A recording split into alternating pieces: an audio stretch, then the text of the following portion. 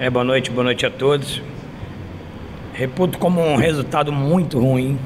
Não estava no nosso planejamento é, deixar esses dois pontos hoje em casa. Era um jogo de fundamental importância sair vitorioso.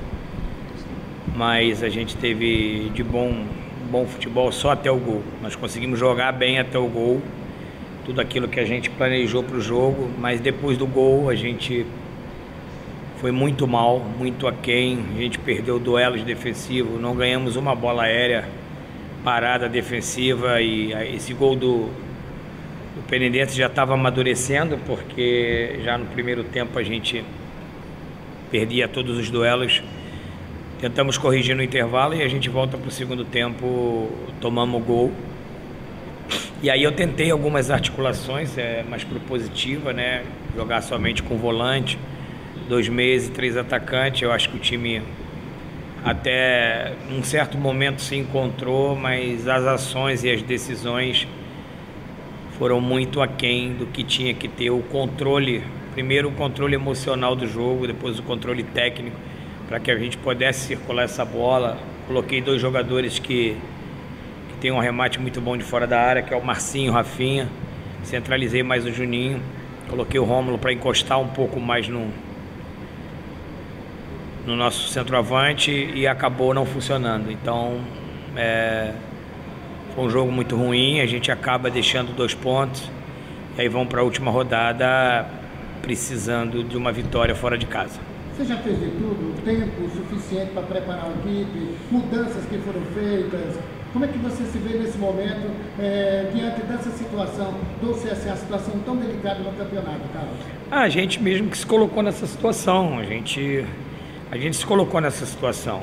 É, a gente tem um, nós tivemos um alento no jogo de quarta-feira, a equipe se ouve muito bem, mas hoje voltou a cometer os mesmos erros, insegurança no passe, insegurança para jogar.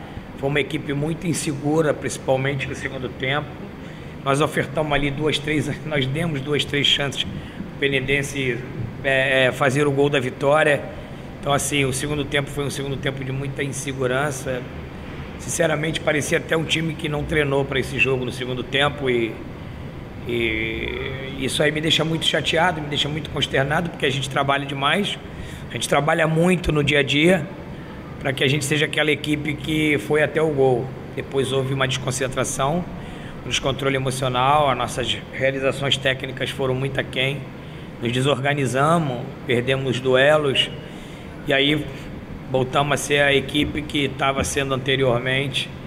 E aí no final, eu vou te ser sincero, sair com esse ponto foi até, pelo que o jogo se desenhou, eu sou um cara muito sincero, foi até um ponto que pode ser o ponto que vai nos ajudar a classificação, mas mais uma vez eu, eu deixo o jogo muito chateado, muito entristecido pelo que a minha equipe desempenhou isso dentro da partida.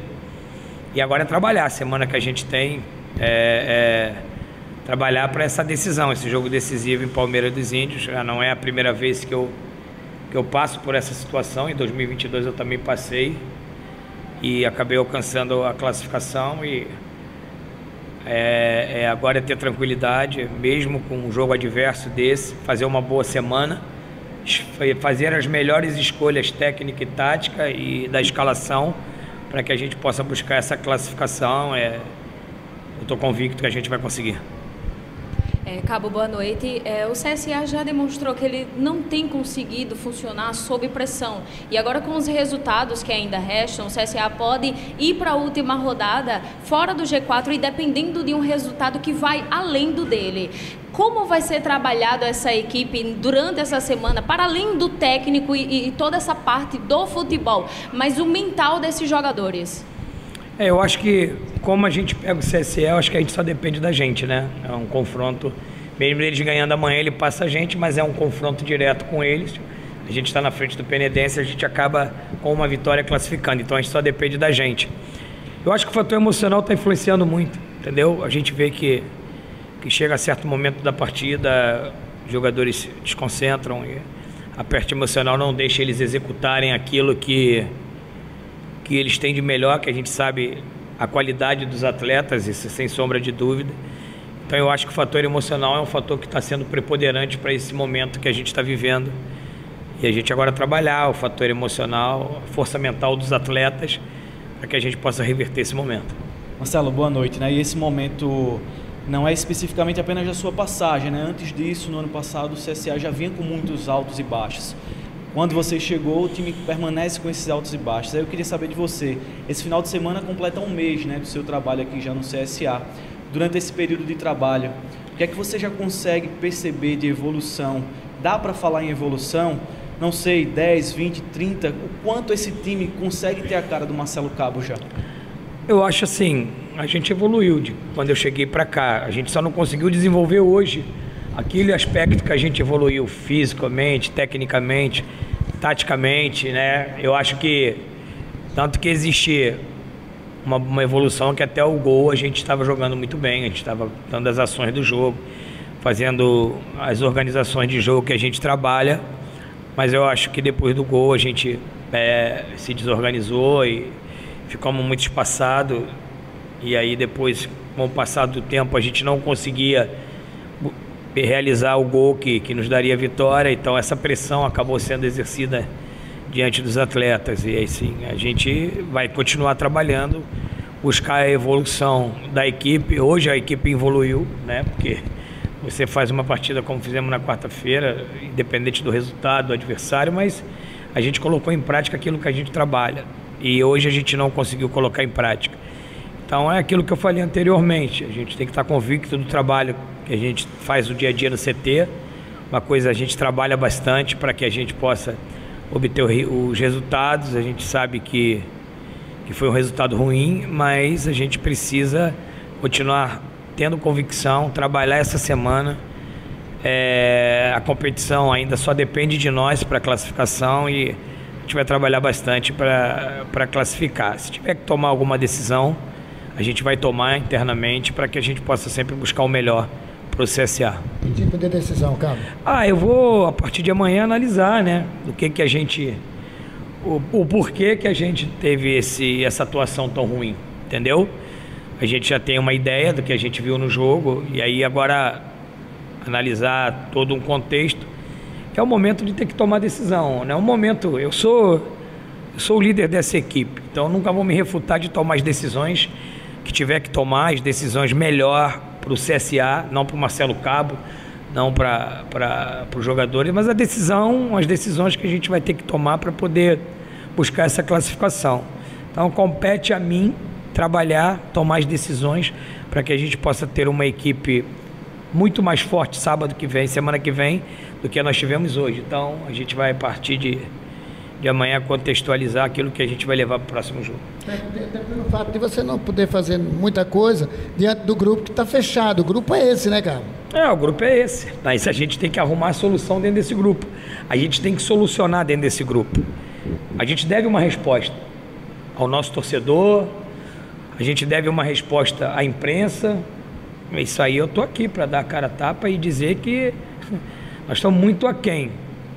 A única coisa que eu digo para vocês é que eu não estou com vergonha não, porque eu trabalho todo dia muito, trabalhei, eu trabalho de segunda a segunda muito. Então assim, quando o cara tem dignidade, que ele vai para o seu trabalho e dá o seu melhor, é, é, não, você não tem que pedir desculpa, você tem que, que entender o momento que você está vivendo e trabalhar mais ainda, é o que eu vou fazer. Mas eu estou aqui, é, a gente a está devendo muito, está devendo muito. Está devendo muito, dentro das duas competições. O CSA hoje nem é sombra da história do CSA como equipe. Nem é sombra. Muito aquém, muito aquém. Então, assim, eu vou trabalhar bastante para reverter esse quadro, para que a gente possa ter dias melhores, momentos melhores. A verdade é o seguinte: enquanto a gente tiver chance, a gente vai buscar. E a chance tá, só depende da gente no sábado. Então, eu já, já te digo, eu tenho.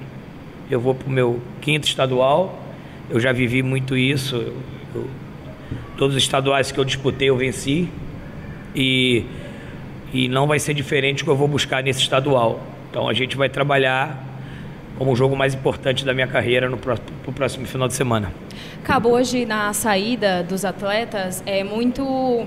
É, a torcida estava no, sentia no direito dela de protestar e houve esse protesto, mas um jogador, jogador em especial parece que se salvou desse momento e acabou sendo aplaudido, que foi o Juninho Valora, que disse que a torcida realmente estava certa de cobrar. O que dizer para esse torcedor agora, nesse momento do CSA? Assim, está faltando alguma coisa nesse trabalho interno com a equipe, com o CSA como um todo, porque a gente sabe que é, um, um time ele vai muito além dos jogadores e de comissão técnica. A torcida tem razão de, de protestar. Ela tá Acabei de falar agora que talvez de todas as minhas passagens aqui que eu tive no CSA foi a mais aquém é essa agora. Em termos de que a gente pode entregar para o nosso torcedor. É uma realidade. A gente não vai fugir da realidade. Um líder assume as suas responsabilidades. Não adianta ter desculpas e álibis. Eu, eu como líder, eu tenho que assumir essa responsabilidade. E, essa responsabilidade, ela da questão de dentro de campo passa por mim, pelo, pelo, pelo corpo técnico que eu lidero. É, a gente precisa é, entender né, o, o, tamanho do CSA, o clube que a gente representa e a gente sabe que a torcida está chateada, triste, dolorida pelo, pelo passado recente. Eu não quero contextualizar o que aconteceu para trás. Eu tenho que contextualizar o que está acontecendo agora e a gente está entregando muito pouco para o nosso torcedor. Então a gente precisa ter silêncio, que é um momento de silêncio, é um momento de trabalhar muito, trabalhar muito.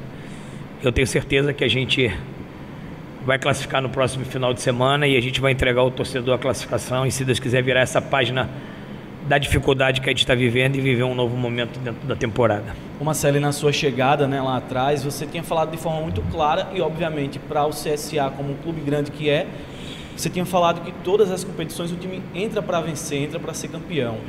A gente olhando esse cenário hoje, claro, pode ser até uma pergunta difícil de responder por você ser um líder, por você estar à frente de um elenco. Mas pensando já numa Série C, apesar de a gente ter o campeonato alagoano, hoje seria difícil com esse elenco que o time tem hoje conseguir disputar bem uma Série C? É preciso já pensar também dessa forma? Ou não? Concentração total na, no Alagoano? Meu querido, eu não tenho nem como pensar na Série C. Eu não tenho nem como pensar na Série C. A situação, ela é uma situação que não é boa. Não adianta eu dizer aqui que está tudo bem, que a situação é boa, que não é. A gente tem agora que focar no campeonato estadual, a gente tem uma final no próximo final de semana. Eu gostaria muito, nesse momento, estar tá numa situação melhor, para que eu pudesse já pensar no campeonato brasileiro, mas eu não posso nem imaginar, eu não posso nem pensar na Copa Lagoas que é na outra quarta-feira. Eu tenho que canalizar todos os esforços para essa final que nós vamos jogar no, no, próximo final de semana. Então, assim, é, é unir todos os esforços, valer, prevalecer o escudo, união e força. A gente precisa agora. O Marcelo Cabo não pode pensar nele, Fulano não pode pensar. A gente tem que pensar hoje como instituição, a gente tem que pensar no clube. E se eu tiver que chegar no CT segunda-feira e sair só depois do, do jogo de final de semana, para mim não vai ser nenhum problema.